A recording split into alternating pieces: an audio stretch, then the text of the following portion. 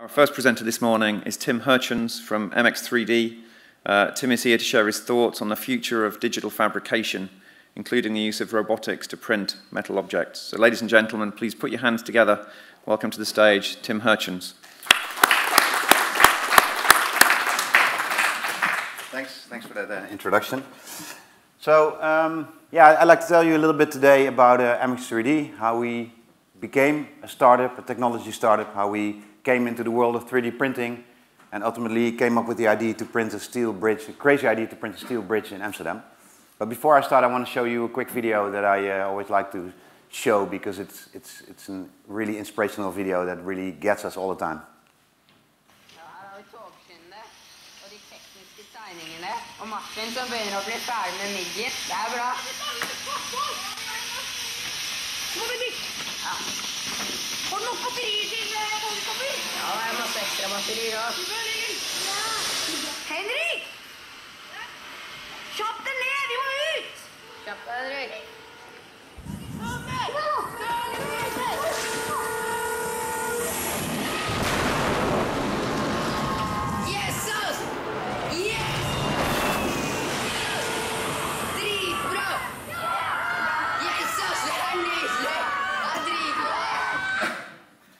Yeah, so of course it's a, it's a fake viral video, but I, I you know, the, the, the, enthusiasm that comes from this video is really what I really like about it. It's, it's, a, it's, it's, it's you know, imagination, your imagination should be your only limitation, and uh, that's, that's what keeps us going all the time. So to explain you a little bit what we do, what we, how we started, is we are uh, a design company uh, based around Joris Laarman, which uh, is a Dutch designer, and we do a lot of really high-tech projects. We, we, we make expensive furniture, basically. But uh, we, it, all, all, the projects we do are really experimental. We use high-tech materials, new techniques, and then we do all experiments. Some end up in pieces of furniture, other ones uh, just stay in the experimental phase. And an example of that is, uh, is this table you see here.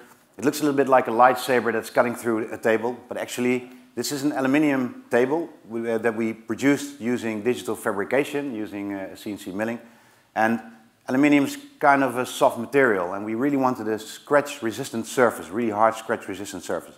So what that robot is doing is actually spraying a layer of tungsten carbide on top of the table. And tungsten carbide is a really scratch resistant uh, material. It's almost as hard as diamond, which also poses a, a problem because if you have to um, mirror polish a really hard material that's almost as hard as diamond, you actually have to use diamond to polish it. So, so this, uh, we had to buy this machine in order to be able to finish this table and to uh, highly polish it. Another good example of what we do is uh, this chair. That's, uh, it's already about 10, 11 years old.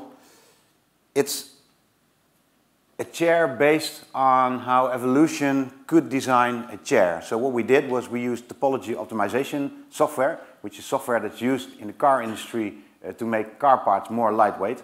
And we use that to actually uh, design a chair. So you take the design space of the chair, the basic space, you put forces on it that you would expect on a chair, and then you let the computer do the rest. Well, of course, then you end up with a rendering, which uh, uh, you can't sell. So we have to produce it. We had to produce it. And back then, there, there were no printers around, no 3D printers around that could print metal objects, or not, at least not in commercial way. So what we did was we actually 3D printed the mold of the chair. So on the left you can see the mold. We cast aluminium in it and then uh, you get a very intricate, very complex chair.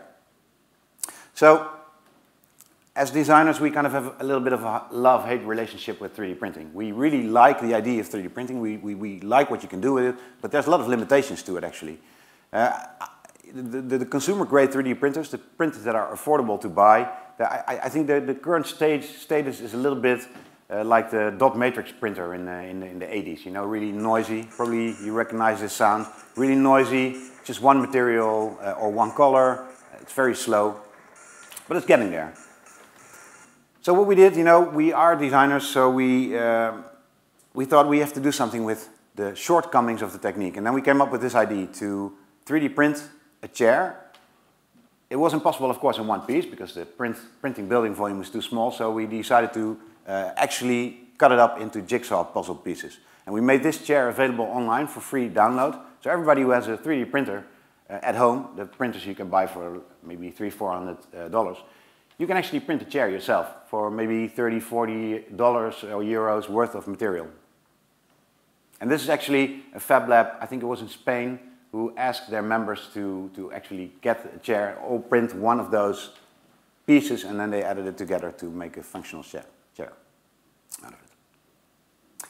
And another example of uh, 3D printing, this is actually a really cool machine. It's a machine that can print uh, aluminium uh, based on, uh, it's powder-based technology. So you have a powder bed and the laser is solidifying a layer of aluminium uh, each time. And you can make really intricate shapes. Really, the, the, the, level of detail is amazing and it's, it's a brilliant machine. It only has a few downsides and one of them is the price. A machine like this will set you back about a, a, a million euros to buy. But even a bigger problem is what you can see already here, and you can see better here.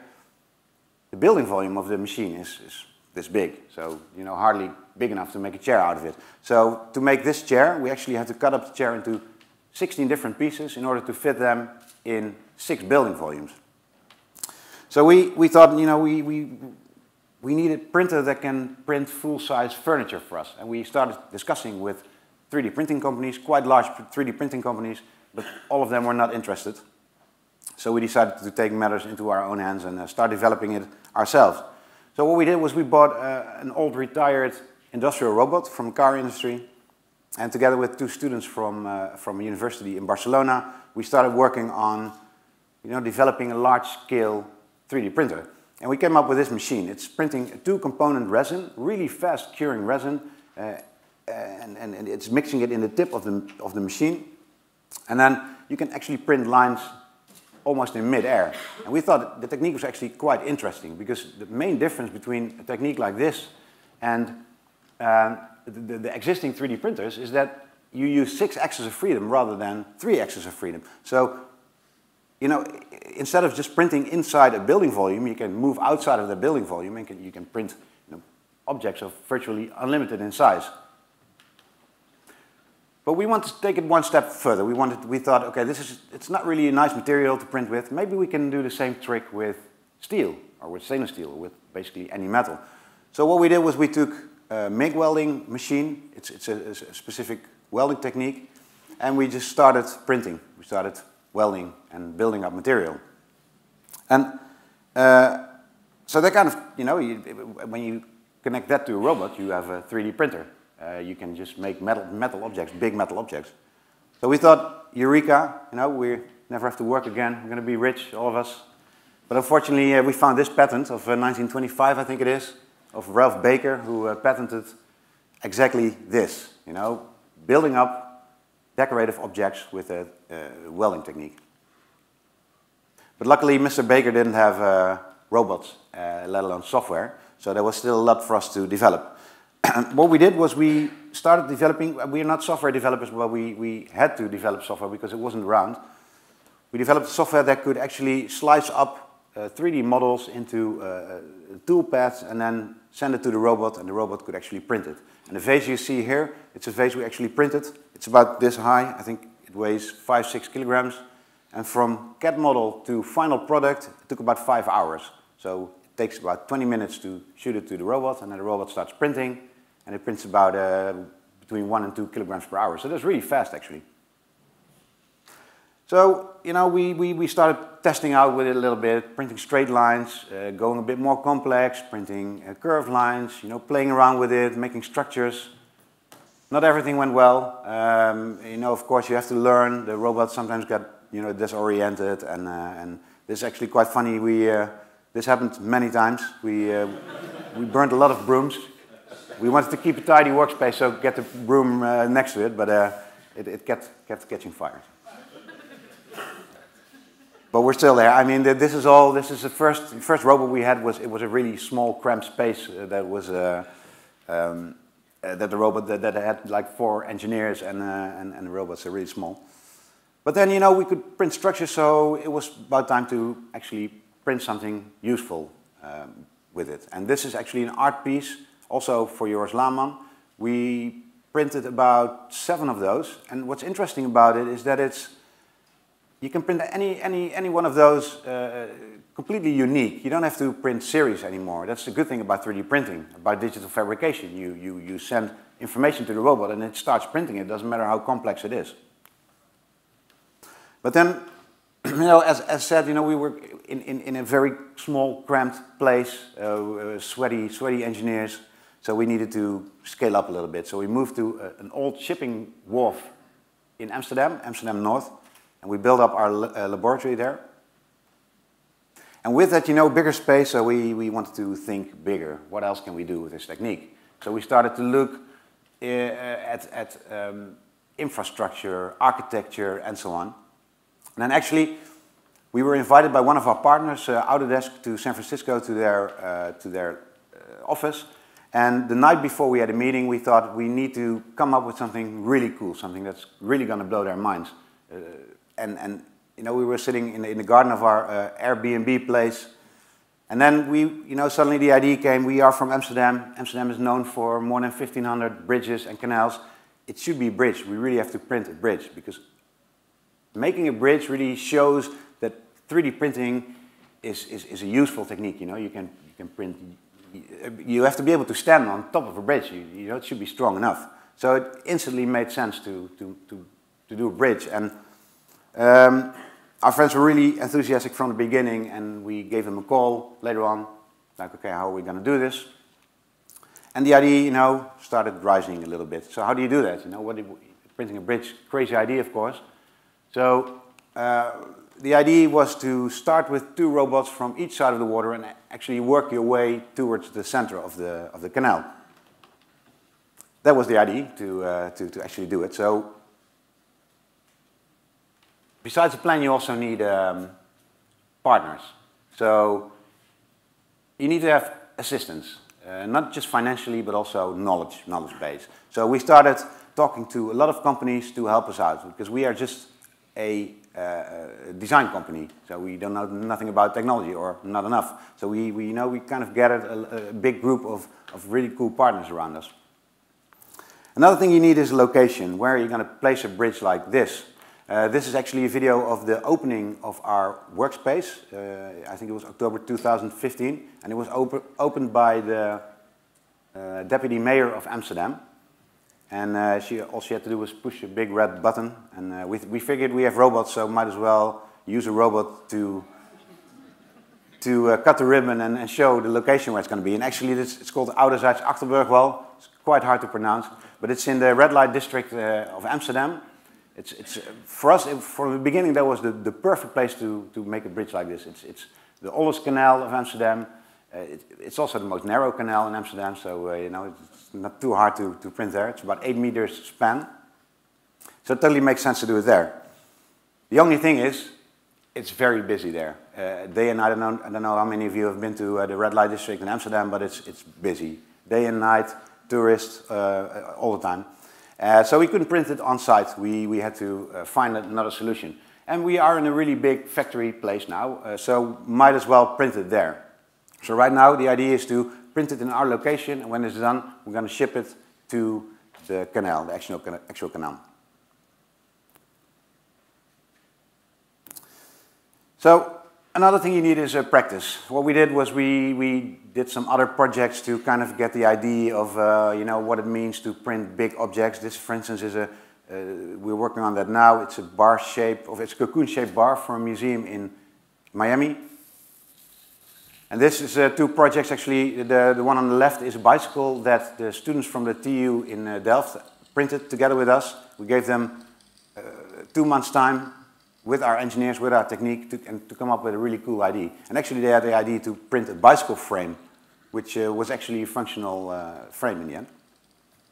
And on the right you see a screen that's actually printed in bronze, because we found out that besides steel and stainless steel, we could also print bronze, aluminium, uh, even titanium, uh, copper, whatever material you can weld, you can also print. And last thing you need is um, a design. What's cool about 3D printing, about digital fabrication is, is, as I already mentioned, the complexity is not an issue anymore. Uh, decoration has gone out of, the, out of architecture in the last decades because it's too expensive to decorate. A, a guy, you know, a craftsman with a hammer and a, and a, and a chisel is, is it's really expensive. But for a robot, it doesn't really matter anymore, you know. You, you just feed it information, you feed it data, and it'll start printing. So we looked also at the topology optimization software, the same as we use for the chair that I showed in the beginning. Started to play around with it a little bit. This is uh, an Autodesk software that we, we used also for uh, uh, optimization software. But in the end, the design was so complex that uh, the engineers that we were working with were not really confident that we could actually calculate it, that we could validate the strength of it. So we had to simplify it a little bit. So this is the, actually the, the ID for the design now. Um, we used a software that, that um, determines the tensile strength and the compression strength within the object. And the red lines are the uh, compression strength and the blue lines are tensile strength lines. And we kind of translated those into a design. We deliberately took an S shape uh, for the bridge because uh, that's, we, we wanted to make it a little bit harder on the software and then the software comes up with more interesting uh, solutions rather than when you do a straight bridge. So these are some images of the design. Uh, we actually haven't launched the design yet. We are uh, going to launch it uh, somewhere this, this month, uh, this month, the end of this month or beginning next month. What we did do already is we started printing the bridge uh, recently. About two months ago we started, we thought we, let's, let's start printing the first two meters, see how it goes, and take it from there. So um, this is an image of the, the, the assembled piece of bridge moved to our location. And what we're going to do now is we're going to place, we, we printed this one up uh, from the, from the ground, just straight up. And what we do now is we place the robot uh, on, on the, the canal walls. We, we remade the canal walls and then put the robot on top of it to see what, uh, you know, what it's, uh, if we can print actually standing on top of the bridge, which is working quite well now.